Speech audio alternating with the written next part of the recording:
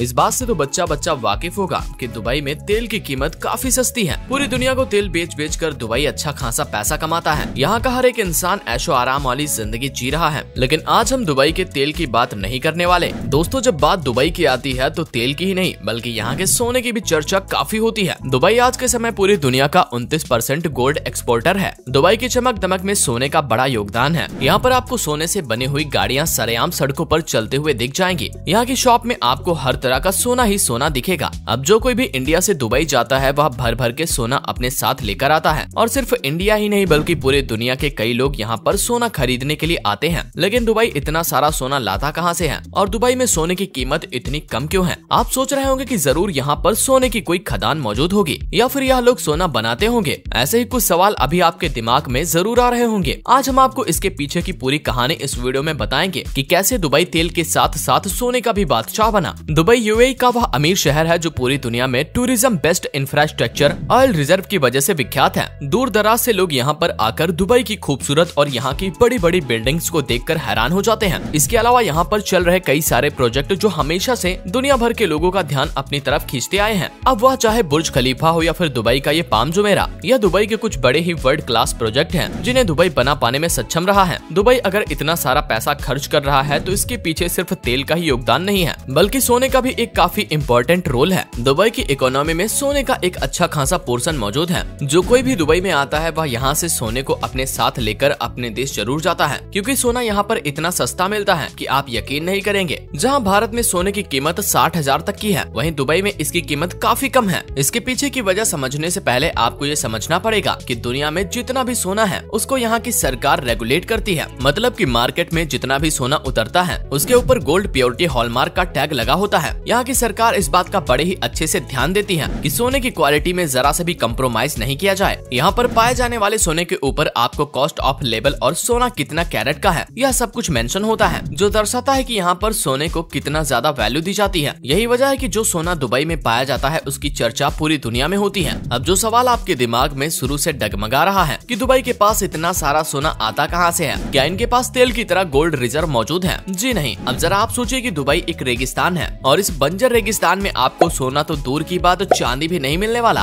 अब यह सुनकर आपका दिमाग भी ज़्यादा चकरा गया होगा कि असल माजरा क्या है। चलिए आपको बताते हैं। देखिए, दुबई के पास आज के समय जितना भी सोना है, वह ये अफ्रीका के देश ऐसी स्मगल करके लाते हैं। सिर्फ़ अफ्रीका ही नहीं यूएई साउथ अमेरिका में भी रॉ गोल्ड को स्मगल करता है। यूएई सुडान ईस्ट अफ्रीका और सेंट्रल अफ्रीका से ऑफिशियल गोल्ड इम्पोर्ट करता है। लेकिन इसके अलावा कई देश ऐसे भी हैं, जिनसे यूएई भारी मात्रा में सोने की तस्करी करता है। अब जाकर आपको धीरे धीरे पूरी कहानी समझ में आ रही होगी और आप जान पा रहे होंगे कि यूएई अपने आप को कैसे सोने का बादशाह बना पाया है। लेकिन कहानी सिर्फ़ यहीं तक सीमित नहीं है। अफ्रीका में जहाँ पर सोने की माइनिंग होती है, वहाँ पर काम कर रहे मजदूरों के ऊपर काफ़ी अत्याचार किए जाते हैं। यहाँ तक की बच्चों का इस्तेमाल करके भी उनसे ये काम करवाया जाता है। और फिर यह सारा का सारा सोना वहाँ की खदानों से बिना रजिस्टर करवाई यूएई लेकर आया जाता है। इन खदानों में से निकला हुआ 80 परसेंट सोना आराम से दुबई पहुँच जाता है। आज के समय दुबई इलीगल सोने की तस्करी के मामले में सबसे आगे पहुँच चुका है। दुबई में जितने भी ज्वेलरी आपको इनकी दुकानों में मिलेंगे। वह सब के सब तस्करी करे हुए सोने से ही बनाए गए हैं। अब आप सोच रहे होंगे कि सोने को तो यह लोग अपने देश में गैर कानूनी तरीके से लेकर आते हैं। लेकिन ये सोने से इतनी अच्छी क्वालिटी के ज्वेलरी कैसे बना पाते हैं? अब आपको हम समझाते हैं कि यह सब दुबई कैसे कर पाता है। देखिए, दुबई के पास दुनिया का सबसे बेहतरीन गोल्ड रिफाइनरी मौजूद है, जहाँ पर यह लोग तस्करी से लाए गए सोने को बड़े ही एडवांस तरीके से रिफाइन करते हैं और उनसे तरह तरह के गोल्ड प्रोडक्ट बनाते हैं। अब जो सोना यहाँ पर पहुँचता है, उसमें ज़्यादातर सोना खराब क्वालिटी का भी होता है। लेकिन फिर भी दुबई इस खराब क्वालिटी के सोने को भी अच्छा बना पाने में कामयाब हो जाता है। और इसके पीछे यहाँ मौजूद इनके स्किल्ड वर्कर हैं, जिनकी बदौलत दुबई खराब से खराब सोने को भी अच्छी क्वालिटी में बना देता है और फिर मार्केट में भेजकर इन्हें अच्छा खासा मुनाफा होता है। अब हम आपको एक स्टेट बताते हैं, जिसे सुनकर आपके होश उड़ जाने वाले हैं। साल 2017 में दुबई में सोने का व्यापार 12.2 मैट्रिक टन का था। जी हाँ सही सुना आपने। और यह सारा सोना गैर कानूनी है, जिसे खुलेआम दुबई अपने मार्केट में बेचता है। इससे हमें यह समझ में आता है कि लोग दुबई से भर भर के सोने का व्यापार करते हैं और यहाँ से सोना लेकर अपने देश जाते हैं। हर किसी को एक अच्छी क्वालिटी का सोना पहनना पसंद है और दुबई का सोना उसे काफ़ी रास भी आता है। लेकिन आप सोच रहे होंगे की दुबई अपना इतना सारा पैसा गोल्ड और रिफाइन करने में लगाता है। लेकिन इसके बाद भी यहाँ पर सोना इतना सस्ता क्यों है? चलिए इस सवाल का भी जवाब हम आपको देते हैं। देखिए, दुबई एक ऐसा देश है जहाँ पर बाकी देशों की तरह सोने पर किसी भी तरह के टैक्स नहीं लगे हुए हैं। मतलब कि मार्केट में मौजूद जितना भी सोना है, वह टैक्स फ्री है। ऐसे में यहाँ से सोना खरीदने वाले लोगों को सिर्फ़ सिर्फ़ और सिर्फ़ ज्वेलरी की ही कीमत चुकानी पड़ती है। उसके अलावा उन्हें एक भी पैसा खर्च नहीं करना पड़ता और सिर्फ़ पाँच परसेंट वेट टैक्स का भुगतान ही उन्हें करना पड़ता है। और वहीं भारत में अगर देखा जाए तो सोने पर तरह तरह के टैक्स लगाए जाते हैं, जिनमें जीएसटी वेट और एक्साइज ड्यूटी मौजूद है। यही वजह है की भारत में मिलने वाले सोने की कीमत काफ़ी ज़्यादा होती है। अब आपको हम एक और खास बात बताते हैं। दुबई में वेट की शुरुआत 2018 में करी गई थी जी हाँ इससे पहले दुबई में सोने के ऊपर किसी भी तरह का टैक्स नहीं लगाया जाता था। और सोना आज के मुताबिक और भी ज़्यादा सस्ता हुआ करता था। इसके अलावा दुबई के हर एक ज्वेलरी स्टोर में आपको सोने की कीमत एक जैसी ही मिलेगी। यहाँ पर इंटरनेशनल दामों को फॉलो किया जाता है। और अगर आप मोल भाव करके सोने की कीमत को कम कराने की कोशिश करेंगे तो इंडिया की तरह आपको यहाँ पर डिस्काउंट नहीं मिलने वाला। अब जब हर एक स्टोर पर आपको सोने की एक जैसी कीमत मिलेगी, तब मोल भाव का कोई भी चांस नहीं रहेगा। लेकिन इसके अलावा आप मार्केट चार्जेस के ऊपर यहाँ पर मोल भाव कर सकते हैं। दुबई से सोना खरीदने के पीछे एक खास वजह और है। यहाँ पर सोने के व्यापारी के लिए एक बहुत बड़ी मार्केट मौजूद है, जिसे गोल्ड शॉक के नाम से जाना जाता है। ये मार्केट इतनी ज़्यादा बड़ी है कि यहाँ पर सोना खरीदने के लिए एक हज़ार से भी ज़्यादा शॉप आपको मिल जाएँगी। दुनिया भर के अलग अलग डिज़ाइनर वाले सोने की ज्वेलरी आपको यहाँ पर देखने को मिल जाएँगी। जिसे देखने के बाद आपकी आँखें तो सच में फटी की फटी रह जानी है। दुनिया भर के बड़े बड़े ब्रांड्स यहाँ पर आपको मार्केट के हर कोने में मिल जाएँगे। यहाँ मौजूद हर एक शॉप सोने की ऑथेंटिसिटी को वैल्यू देती है। अब हम आपको यहाँ के सख्त नियम के बारे में बताते हैं। यहाँ की मार्केट में अगर कोई भी दुकानदार सोने को गलत तरीके से बेचने की कोशिश करता है या फिर सही दाम नहीं लगाता। और तो और हॉल मार्क का इस्तेमाल नहीं किया जा रहा। तो दुबई में उसके लिए सख्त कानून बनाया है, जिसमें उस इंसान को दो करोड़ का जुर्माना और दो साल की सजा सुनाई जाती है। यही वजह है की सोने को लेकर धांधलीबाजी के केस आपको दुबई में नहीं देखने को मिलेंगे। ऑथेंटिसिटी के चलते भारत के अलावा यहाँ पर कई अलग अलग देश भी अपना पैसा सोने में इन्वेस्ट करते हैं, क्योंकि उन्हें यहाँ की सरकार के नियमों पर काफ़ी भरोसा है। दुनिया के अलग अलग देश पाकिस्तान, ओमान, ब्रिटेन, कनाडा जैसे देश दुबई से सोना खरीदने के लिए यहाँ पर आते हैं। इनमें से भारत के लोग दुबई से सोना खरीदने में सबसे आगे रहते हैं। अब ऐसा इसीलिए है क्योंकि भारत में हर एक शादी में सोने को काफ़ी वैल्यू दी जाती है। अगर आप दुबई जाकर सोना लाना चाहते हैं तो आपको एक और बात पता होनी चाहिए कि वहाँ से सोना लाने के लिए भी एक लिमिट है। दरअसल सीबीआईसी के नियमों के अनुसार अगर कोई भी भारतीय पुरुष दुबई में एक साल से ज़्यादा समय तक रह रहा है तो वह दुबई से भारत 20 ग्राम तक सोने को ही ला सकता है और उसकी कीमत पचास हज़ार तक होनी चाहिए। इसके अलावा अगर आप महिला हैं तो आप 40 ग्राम तक का सोना दुबई से भारत ला सकती हैं, लेकिन उसकी कीमत एक लाख से ज़्यादा नहीं होनी चाहिए। अगर आपकी इच्छा इससे ज़्यादा सोना खरीदने की है तो आपको कस्टम ड्यूटी देनी पड़ेगी। आप कितने समय से दुबई में रह रहे हैं यह चीज़ भी काफ़ी मैटर करती है। अगर कोई भारतीय छह महीने से भी ज़्यादा दुबई में रह रहा है तो वह एक किलो तक का गोल्ड क्वाइन भारत ला सकता है, जिसके लिए उसे साढ़े बारह परसेंट की स्पेसिफाइड कस्टम ड्यूटी देनी पड़ेगी। वहीं अगर गोल्ड क्वाइन एक किलो से ज़्यादा है तो उन्हें छत्तीस पॉइंट पाँच परसेंट की स्पेसिफाइड कस्टम ड्यूटी चुकानी पड़ती है। यह बात तो हमें माननी पड़ेगी कि दुबई ने गोल्ड की वजह से काफ़ी ज़्यादा तरक्की करी है। बीते कुछ सालों में यहाँ की इकोनॉमी गोल्ड की वजह से काफ़ी ज़्यादा बूस्ट हुई है। दुबई के गोल्ड सेक्टर में लगभग चार हज़ार छियासी गोल्ड कंपनियाँ काम करती हैं। वाकई में दुबई सिर्फ़ तेल का ही बादशाह नहीं, बल्कि सोने का भी बादशाह है। आज की वीडियो में सिर्फ़ इतना ही। अगर आपको वीडियो पसंद आई हो तो इसे लाइक करना न भूले। इसी तरह की और भी वीडियो को देखने के लिए आप हमारे चैनल को सब्सक्राइब कर सकते हैं, क्यूँकी हमारे चैनल आरोप मिलेगी आपको हर तरह की इन्फॉर्मेशन मिलते हैं अगले वीडियो में।